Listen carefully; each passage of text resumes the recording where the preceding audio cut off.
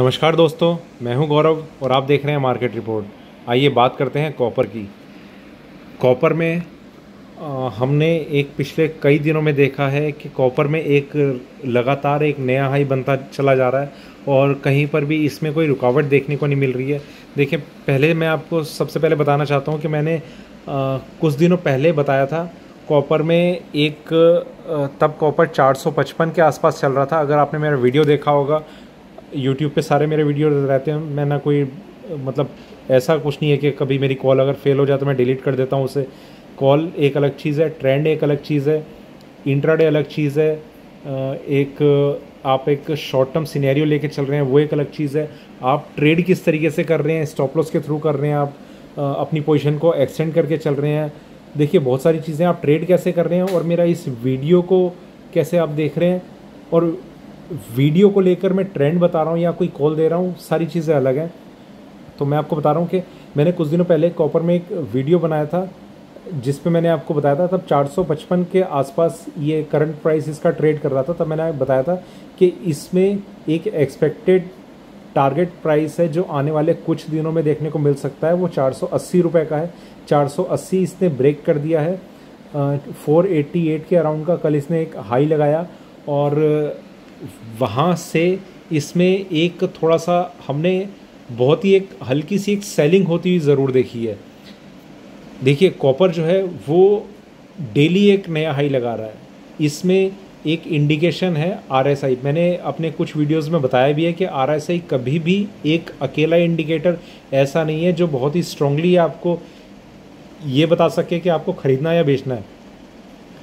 RSI जब fail होता है तो वो इस तरीके से फेल होता है कि आप अगर 80 पिचासी पर RSI है, तब भी आप सेल कर रहे हैं तो भी आपकी पोजीशन कितने बड़े लॉस में आ सकती है, कोई, आप आप भी नहीं बता सकते।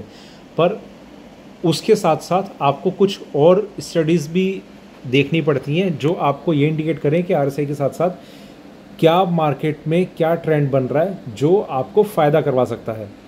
ठीक है, अभी हम वापस बात करते हैं कॉपर की। कॉपर में जो एक बाइंग चल रही थी आरएसआई इसका अब से नहीं, कुछ टाइम पहले से ही काफ़ी ज़्यादा ऊपर में ओवरबोर्ड कंडीशन में चल रहा था स्ट्रांगली ओवरबोर्ड कंडीशन में चल रहा था। तो हमें वेट था एक ब्रेक लगने का। ब्रेक इस पर लगा है। अभी मैं आपको बताता हूँ कि 487 का आप स्टॉप लॉस लेके इसमें आप सेलिंग की पोजीशन जो है वो बना के चल सकते हैं। ठीक है, ये मैं बात कर रहा हूँ आपके लिए प्योरली इंट्राडे ट्रेड के हिसाब से। थोड़ा सा हम नीचे आएँगे। चार सौ अस्सी का लेवल अगर ये ब्रेक करता है तो हम चार सौ तिहत्तर के आसपास इसमें एक टारगेट प्राइस देख सकते हैं। 473 के अराउंड यहाँ तक का लेवल हम देख सकते हैं। इस एरिए में कुछ इसमें एक सपोर्ट बनता हमें देखने को मिल सकता है। बहुत ही ज़्यादा ऊपर है ये कॉपर। तो 487 का आप स्टॉप लॉस आप मान के चलिए 487 का आप स्टॉप लॉस ध्यान करके चलिए ये ऊप, आप ऊपर की साइड में ब्रेक होता हुआ बहुत मुश्किल लग रहा है और इसे आप स्टॉप लॉस मान के आप करंट प्राइस पे जहाँ भी आपको कॉपर मिलता है आज आप सेलिंग की पोजीशन आप बना के मार्केट में आप अपने आप को रख सकते हैं। मार्केट जैसे जैसे नीचे आएगा स्टॉप लॉस उसी तरीके से रिवाइज करना होगा। जो लेवल्स हमें देखिए, मैंने आपको बताया 480 भी अगर ये ब्रेक करता है तो 473 74 के आसपास हमें टारगेट प्राइस इसका ये हो सकता है। आज ना मिले वैसे चांसेस ये हैं कि जिस तरीके से ये ऊपर गया इतना इसमें एक एक रिट्रेसमेंट नीचे की साइड में ज़रूर आना चाहिए, जो हमें देखने को मिल सकता है। शायद आज ही देखने को मिल जाएगा, अगर 480 ये ब्रेक कर देता है। 487 का आपने स्टॉप लॉस बना के चलना है। 484 इसका करंट प्राइस है। जो इसमें जो मूवमेंट आनी थी वो एक रैली जो थी, उस पर एक ब्रेक लगा है ये देखिए, मैं आपको थोड़ा सा और टाइम फ्रेम बढ़ा के दिखाता हूँ।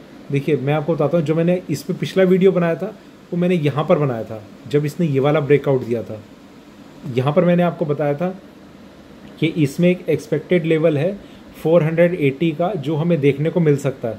तो वो इसने टच कर दिया है। इसके ऊपर ये अगर और ज़्यादा सस्टेन करेगा मतलब जैसा इंट्राडे में तो ये ज़रूर दिखा देगा ये वाले लेवल जो मैं आपको बता रहा हूँ प्रॉफिटेबल पर इसके ऊपर अगर ये सस्टेन करके रखता है तो इसमें आने वाले टाइम में और ज़्यादा तेज़ी हमें देखने को मिल सकती है। पर फ़िलहाल ऐसा भी लग रहा है कि अभी कुछ टाइम तक इसमें एक कंसोलिडेशन का फ़ेज़ चलेगा। उसका रीज़न ये है कि क्रूड ऑयल सिल्वर इसमें थोड़ा सा हमें एक डाउनसाइड जैसे इंडिकेशन मिलते जा रहे हैं और जिसका असर हमें कॉपर पे भी देखने को मिल सकता है। ठीक है? ये देखिए ये जो था मेरे ख्याल से ये क्या तारीख होगी उस दिन? डेट तो मुझे भी ध्यान नहीं है। जो भी ये डेट बनेगी, यहाँ पे कुछ मेंशन होके नहीं आ रहा। ये पंद्रह जून है, यहाँ से जुलाई शुरू है। खैर, जो भी होगी तो इतने टाइम में इसने ये लेवल अचीव कर लिया है और यहाँ पर फिर इसमें एक ब्रेक लगता हुआ नज़र आ रहा है और मार्केट जो है यहाँ से नीचे की तरफ़ थोड़ा सा एक करेक्शन की मैं बात कर रहा हूँ। मैं ट्रेंड के रिवर्सल की बात नहीं कर रहा। रिवर्सल इसका ट्रेंड तब कन्फर्म होगा जब ये वापस 460 ये नीचे की साइड ब्रेक करेगा। उससे पहले रिवर्सल नहीं दिख रहा है।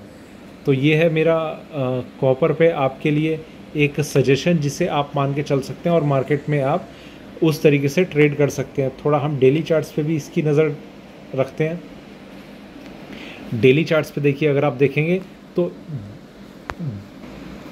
अब यहाँ हम डेली चार्ट्स पे देख सकते हैं कि इसमें एक जो कैंडल है, वो डोजी कैंडल टाइप का एक फॉर्मेशन बन रही है उसमें।